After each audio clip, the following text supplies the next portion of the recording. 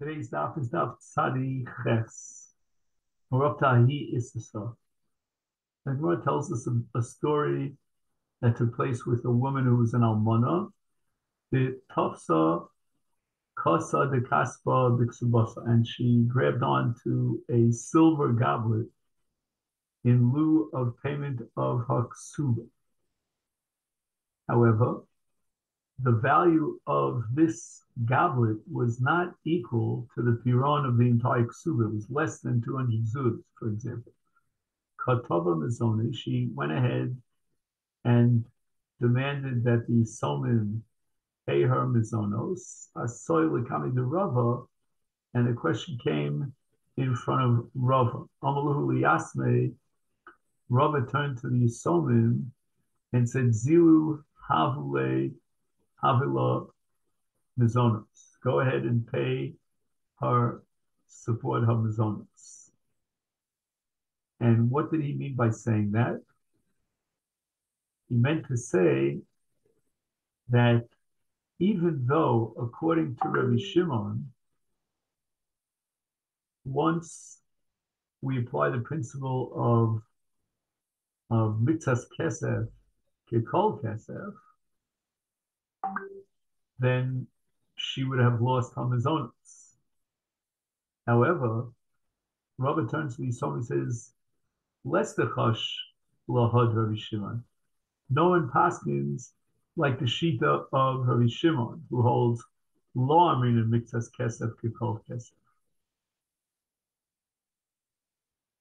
But rather alocha, we paskin that mixas kesef kikol kesef, like the chachamim of Rabbi Shimon. And therefore, if she did not collect the entire ksuba, then she has rights to collect mizonos. According to Rabbi Shimon, mixas kesef is not dino kikol kesef, and when she sells part of the ksuba, she's mafsid the mizonos.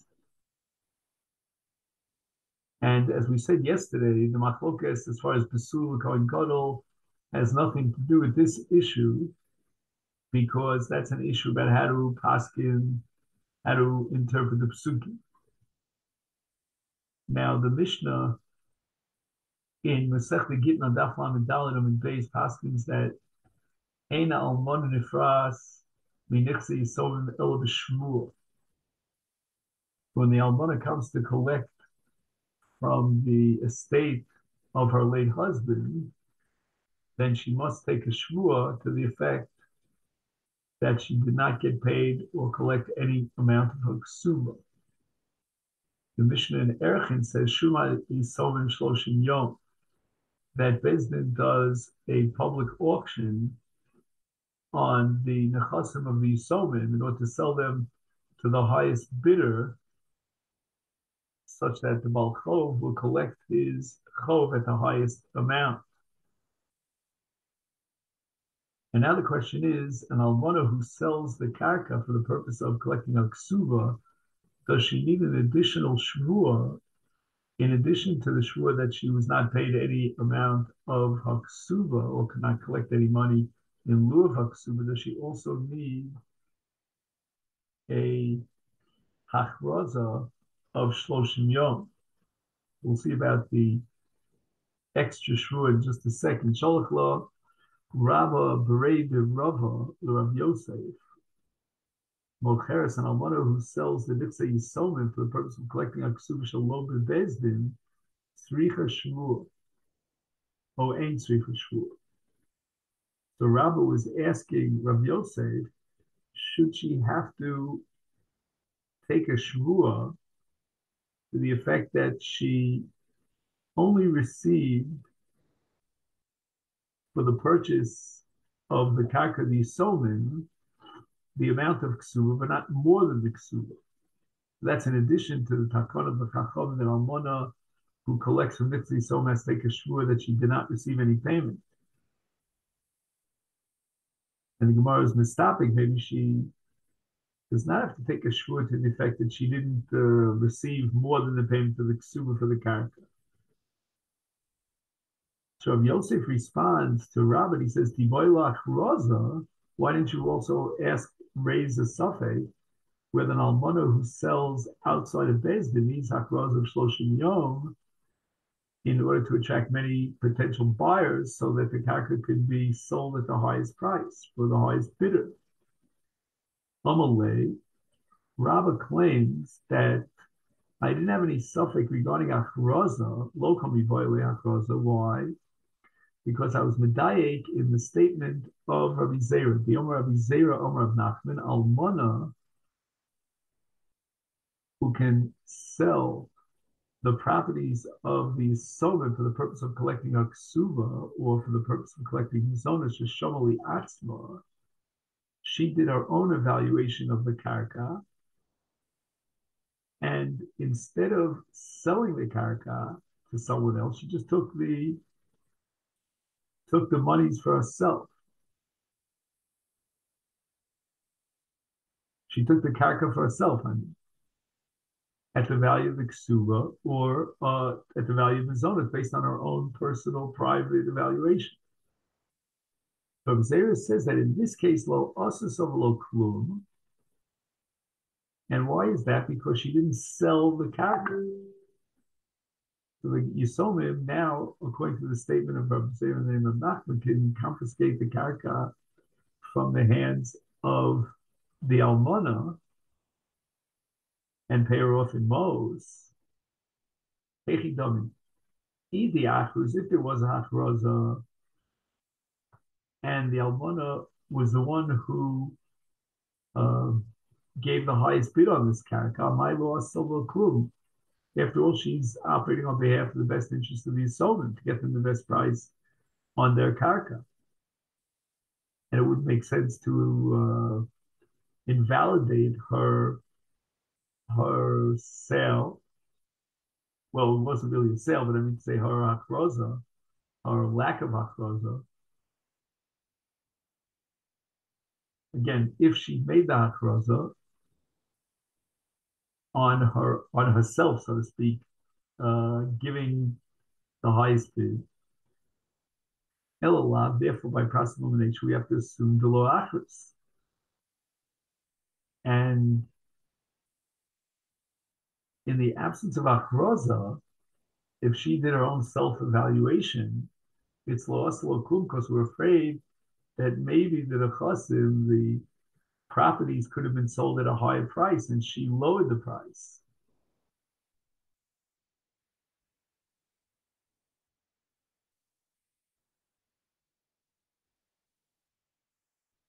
Let's now be medayik from the language of Rav Zera, the reason why loss of Akum is because the Atzma, she didn't sell it on an open market. It's not because of the lack of Achraza. The Atzma who the loss of Akum had she sold it to someone else, even in the absence of Achraza, Mashasa Asa. We derive from this that Almana could sell outside of Bezin without needing Achraza. Therefore, I never raised the question about Achraza. I was only wondering if she has to take a shvuah. And the Gemara rejects this and says that from the statement in the name of Nachman about an almana who sold shalom bezdin, you cannot derive that ain't tzrich cross. We own the achrus.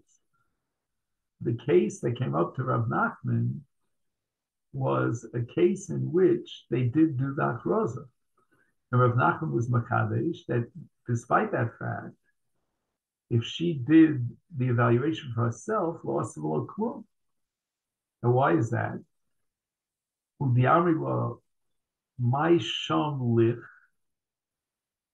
The reason is we say to her, who gave you the license to grab onto the karka and possess it for yourself?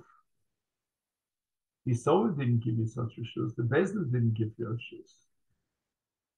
So therefore, Machir itself means to transfer ownership from the mocher to the loker, from the buyer to the seller. If the mocher set appointed a shliach to sell the the estate or the karka on his behalf, the shliach has no right. He has no legal uh, option of taking the object for himself. He was sent as a shliach to sell the object to someone else. So in effect, therefore, the shlichus is completely null and void, and the chayfetz, this karka, never went, went out of the rishus of the mocher. So the almana, as the shliach of the Yisomim, was appointed as an agent to sell the nechasim to other people. She cannot therefore take it for herself, but if she sold the character to someone else, that sale would be valid because the Chachamim gave her license to sell the character to someone else. And the karka leaves the rishus of the Yisomim, the Mocher, and enters into the Rishus Lokeh.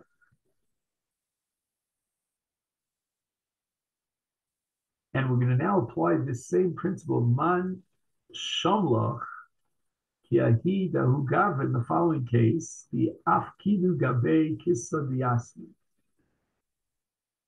There was a person in which Bezdin gave a pikadon into his rishus of what we call mispo food lebehemos to sell them on behalf of these Solomon. Also, Shamal Nafshi Barbavio Zuzi. The man went ahead, evaluated the the the the, prop, the property, in this case the mispo, the kista, at 400 zuz, and he made a kinyan for himself on his own behalf. At the end, Aikir Kon the value of the kista went up from 400 zuz to 600 zuz. Also, the coming the Rabbi Ami. Amalei, Rabbi Ami turns to this person who wants to be Zocha in the extra 200 zuz when the kista goes up in value. I'm Shomer. Who gave you permission and license to be coded for yourself? So at this point, the Gemara rejects the proof from Rav Nachman. So we're left with two speculums. Number one, when Almana sells the Nechasim the Yisom Shalom Bezdin, does she need a shvur? Number two, does she need achraza? And Gemara Paskins vehilchasa tricha shvur, but ain't a tricha achraza. She will have to take the oath that she didn't sell the karka for a price that goes above and beyond the value of her. And secondly, she doesn't require akroz of shloshim yom. Whereas when Bezdin sells the nefas the Yisomim, they must do akroz. And now we're on the Mishnah here on Daf Sariches Amadav. Almonish Oisak Subosam Asayim. Umachra, she sold the karka, Shavimona only at the value of one money. Now she wants to collect the balance for her ksuba.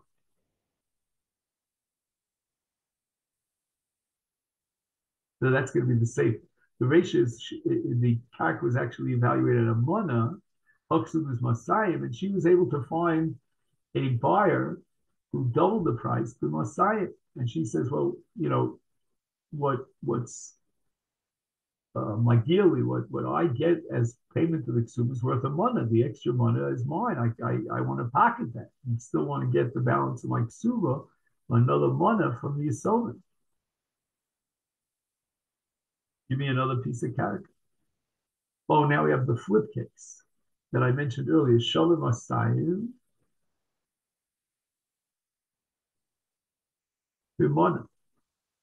She undercharged the karka was worth Masayan, and she sold it for a mana, and she says to the Yisolim, I deserve another piece of karka that's worth a mana because my ksum is Masayan.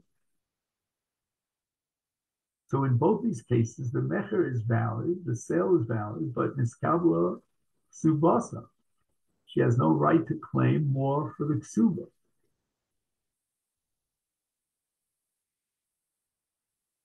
So in the first case, she'll have to she'll have to um, accept the Messiah as payment of full payment of Baksuba. She has no claim that she deserves another piece of cash in addition from the son. And in the second case, she will have no claim to the ksuba because the character was worth Masayim. She messed up by selling it for a money. That's her problem. Now we go on to a case of an almana, mana. She only had a ksuba mana. She took a piece of character that's worth a mana plus a dina and sold it for a mana. She did not sell it for its full value. Michra batel. The whole sale is invalid. The character goes back to the Yisoma. And the reason for this is that since she sold a character that was worth a mana dinar for only a mana, then every part of the character was sold below its value, its true value. She has no license to sell karka below its market true value. She cannot undersell it, meaning sell it for a cheaper price and cause a loss to the Yisomim. So the Mechira, this this case was built on toes, and therefore the Mecher is bottom. She only had uh, proxy to sell the karka at its value. Even if she says, well, if I cause the loss of one dinar to the Somim, I'll pay it up from pocket. No. The Mecher is Butler. If Shimon Gamliel Omer, he disagrees. The Olam Kayim. The Mecher is valid. That's like we saw earlier in the Mishnah. She'll obviously have to pay up the dinar to the Yorshim. They can't be cheated out of that dinar. And now the Mishnah asks the question: To what extent, of what need of the character that she sold, in essence illegally because she sold it at a cheaper price, and yet the mecher according to Shimon Wheel is still valid. What's the ceiling? Ad sheteisham kedeshet tishayar v'sod of astisha kavin u'begin of as chatzi kav u'tediver up to the point where the character that she sold, meaning had she not sold the character oh, Odefes al ksubasa, beyond the value for ksuba, there would, there would be left for the Yisomim a sizable area that's royal l'shimush, which would be, in the case of the Tvua, Bas Tisha Kavim, that you could plant there nine kavim's worth of seeds of Zroyim, which means it's 75 amos in length and 50 amos in width. Ubegina, or if it's a vegetable garden, bas kav, you can plant there a half a kav of which means the area is 50 amos long and 25 tefachim wide.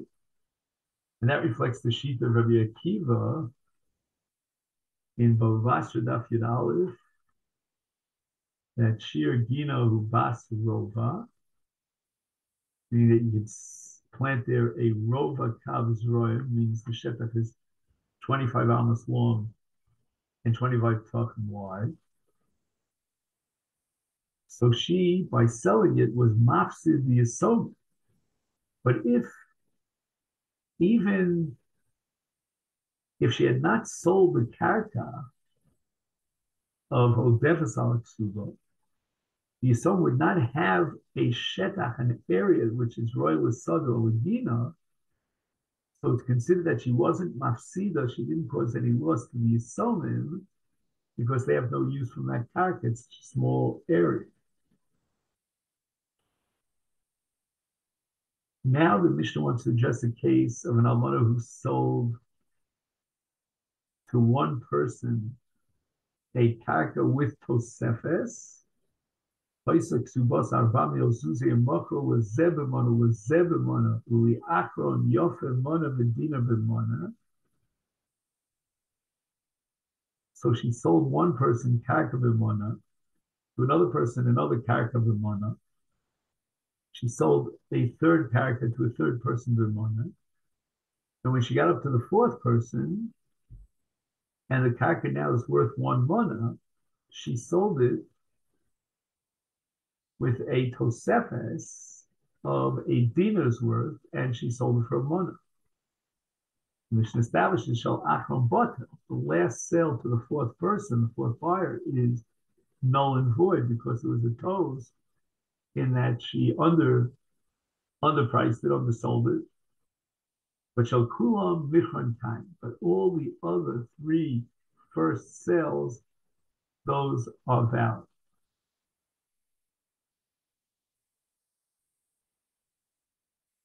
And the Gemara is going to talk about later a case where after the sale, it went down. Asks, Maishna, what's the difference in the second din of the Mishnah, in the case where the Almana sold package of a Masayim Dimona, in such a case, the din is that she received Haksula, and so don't have to give any additional value because she sold it and reaped in a full suba's value of 200 zuras. Yamri will at if sadit. Right, you took a karka that was worth masayim zuras, and you sold it for money for half its value. You you brought the loss upon yourself.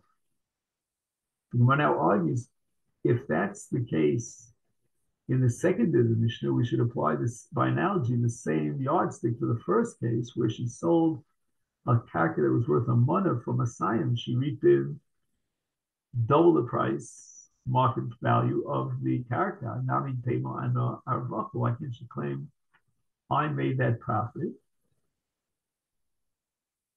And the karka from my pure is only worth a money. If I successfully sold it at Masayan, that's my profit. And in the Masifta, he adds, Kasher almonim ekabels the other karka v'ksubasa, v'rotza limkar sakarka, nechel adover sheitansel liatzma sakarka v'yoseh So when she sells the karka, it's considered as if she's the owner of the karka. The he zoshemo shemocheres the karka lokech. She's the one who sold for lokech and therefore if she sells it at a cheaper price than its value, she takes the loss. And therefore, logically, she should take the benefit and the profit if she sells it at a price above its value. And the Gemara answers, Omer of Nachman, Omer Rabba Baravua, Kan Shoda Rebbe Akol Balamot.